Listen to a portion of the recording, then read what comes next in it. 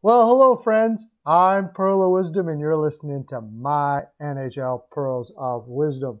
And uh, I'm going to. This is a what, how the Montreal Canadiens made the finals. Not series, but video. And there's a lot of all. The whole team played very well. You had the big question mark really was, and by the way, if you wish to subscribe and hit the bell, that'd be lovely. Uh, the big question was Suzuki and Kotkaniemi being 21 years old. Two their top two centers are 21 years old. And uh, going into it, I thought, you know, that was going to be very difficult for a young group like that to uh, be able to do what they're doing right now. And there's many other things. They didn't go into the playoffs looking very good. They were, of course, the last seed all of those things, and here they are, of course, with uh, going into the finals. We know Price is a beast, right? Without Price, maybe if you trade goaltenders with any of the teams they beat, certainly Toronto, maybe Winnipeg. Uh, Vegas seemed to not be able to find the goaltender that they were want, able to compete with because they kept on changing back and forth that that would be the case as well. I would definitely say price probably is the biggest reason why they won. But they also played extremely well as a team. They played a 1 1 3 defensive system and uh, confounded their opposition quite a bit. However, lots of teams play a 1 1 3. Lots of teams play it really, really well.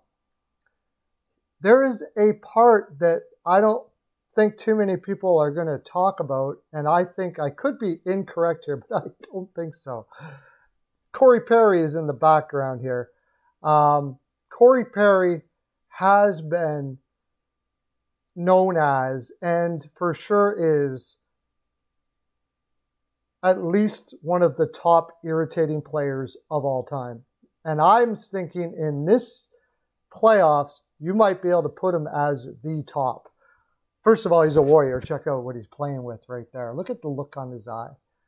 Like, you, so what? I got nothing. You got nothing. You got nothing. And that's what Perry does the whole game. He's talking to everybody, going, You got nothing. You got nothing. But there's more than that. Perry is a guy, is an old school guy in a lot of ways. He plays an old school type game. Uh, I talked about it with what my thoughts that Perry might have had about the Evans incident behind closed doors, but he would never mention it. Um, Perry will do anything and say anything to win. And I think in this playoffs, he's taken that to a level that is absolutely crazy. The first uh, series with Toronto, if you watched, they were up 3 1. They were looking very confident. And then, um, of course, the whole Tavares incident, which happens to be Perry. Now, you got to remember, and it, you look on there and you say, and not we say, it looks like Perry didn't mean to do it. It really does. Uh, but everybody in the Toronto room knows that Perry is the kind of guy that would make it look like he didn't mean to do it. At least he didn't try to avoid it that much. He's that kind of guy. I'm not going to say that he did or didn't. Whatever, it doesn't matter. The fact is, he was the one that was the that kneed Tavares in the head and put him out. That's one thing. I think anybody in Toronto uh, on the Toronto Maple Leafs get over that, whatever the case may be. But something that Perry will do is remind the other team over and over and over again that they don't have Tavares. And he's going to make it seem like he did it on purpose, even if he didn't. On the ice, I bet you, okay? He's going to throw you off.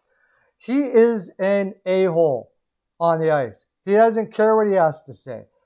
And it looked to me, and maybe you guys can go back and look at it yourself. Matthews was making expressions like I you don't usually see him make. He was looking very defeated. Marner was looking very defeated because they, Tavares is a friend of theirs, and it was a terrible incident. And Perry will come out and use that to try to win the game. Now, I know this sounds like really like so what you just get over it. But there's a point in the human when I in the human spirit where it goes, do I even want to like does this matters is this do you want to win this much? Is this what you want to do to win? Like to, they get, you get offended by the fact that somebody is willing to say these things. I wouldn't even go, I'd go as far as to say, as Price would say something to the effect, I'm glad it happened to Tavares. I'm glad. Good. Good it happened. You guys deserve it. You suck. So that's what you get when you suck. He would say stuff like that to drive you freaking crazy. And Matthews, Marner, and a lot of the team looked like they had the steam taken right out of them the whole way. And a guy like Perry is going to make sure they're reminded as to why. He's going to bring up Tavares as much as possible. He wants that sick feeling in their stomach to come up all the time. Because you have a sick feeling in your stomach, and he even used the term. When he saw Evans, it gave him a sick feeling in his stomach. However, when he gets back on the ice again, Perry's not thinking about that. And you could try to push that back on him, and it wouldn't even bother him. That's the thing about Perry. Perry knows about separating what happens on the ice and what's not, what happens outside of the rink. He'll say he'll become a character. He'll do it. He'll become the evil guy to try to screw with your mind and affect you emotionally.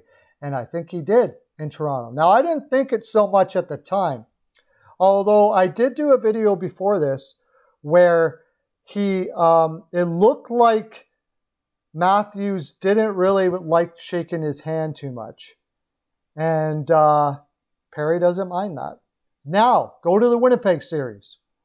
We have what happened with Scheifele, and I have a video on that. You can go check it out. I think there was more to it that that than what he got suspended for. But what I want to bring up here is Scheif, or Scheifele is a guy that's kind of up for a Lady Byng all the time. He does not do this kind of stuff. But what most people will notice is at the end of that hit, the look in his eyes. He looked like he was freaking insane, man. This is the type of thing that guys like Perry can do. Is it the rest of the team as well? Maybe. I mean, Gallagher's pretty yappy and all that. But Perry's been doing this forever, and they've been talking about Perry doing this forever. He will make, he's the kind of guy I think, and I don't have any proof facts of this, but he would make, he would bring up your daughter that died three days ago if you thought it was going to drive you crazy. Like he's, he'll go low as low as low as he will go. So it's no saying what he has been saying to Scheifele, what he has been saying to them to get him to lose his mind. And if you can do that to a guy who's normally a lady binger, you're pretty skilled at it. So now the final series that they come to. Uh, game five, I believe, or was it game six? No, it was game five. Sorry, game five. Stone and Pacioretty in that series looked like 16 year old kids that were totally offended by what was going on in that rink. They were shaking their head like Stone looked like he didn't have it in him anymore. Like that it looked like somebody had touched a nerve with him that made it so hockey didn't even matter as much. Sometimes a player can say something that is so ghastly that it enters into you and goes, This is sick. It's almost like you're saying win then if you're going to be if that's what you got to do to win, if you're going to be like that, this isn't even hockey anymore. You're disgusting. And not all players react the way. Uh, when have you ever seen Stone react that way? I was going to bring it up here, but I couldn't find it and I wanted to do the video. Go back, see if you can find the game six where uh, Stone gives up the puck and he doesn't even come back. And then he comes out afterwards, he's smacking his stick everywhere, he's losing his mind, and then they pan over to Pacioretty, and Pacioretty's just like, like they're saying, this is sick, this is sick. Is it because they're not playing well? Or is it because also why they're not playing well? And people say, well, why don't you just get angry and try harder? The other thing that guys like Perry know how to do is hit the right guys with the right thing. They just have an instinct for it. And even after the Scheifele incident, whatever happened with that, Perry probably would have been reminding them, you know, your Scheifele piece of crap guy that you guys think is so great. Guess where he is now? You're never going to win without him. Now that's normal stuff, right? That's normal stuff. When I played, I said that stuff all the time. You can't win without him. Look, you guys are idiots. He will take you down that way as well. He will push every button, but he'll go deeper. He'll go deeper. He'll go down where it hurts. If he has personal stuff on you, he will do it. I share this out. I'd love to see if it gets around to Corey Perry. I don't like I'm no I don't I don't think I'm popular enough. But I would love to be brought up this to Corey Perry, and Corey Perry would probably answer, which what go what's said on the ice stays on the ice. And that's the way it is. So tell me what you think. Should a team really let should players be able to affect have this stuff affect them? Should a player be able to say anything, anything on the ice? And do you think I have anything here? Or do you just think Montreal just played really well? Which I do believe they did. But it's all even easier to play better when you have the team in their heads like that. When you're in their heads like that, emotionally, to, to almost emotionally decapitating them. And it feels like Price did that to me. Tell me what you think. I'm going to post this up. Uh, congratulations, Montreal Canadiens. You guys played amazing hockey. I, I I didn't pick you to go to as far pick the Montreal Canadiens to go as far as they did.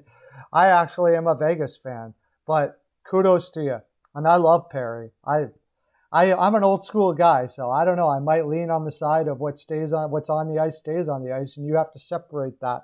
And if you can't, you lose that's my full 42. Subscribe, tell me what you think, and have a great day. Okay, bye.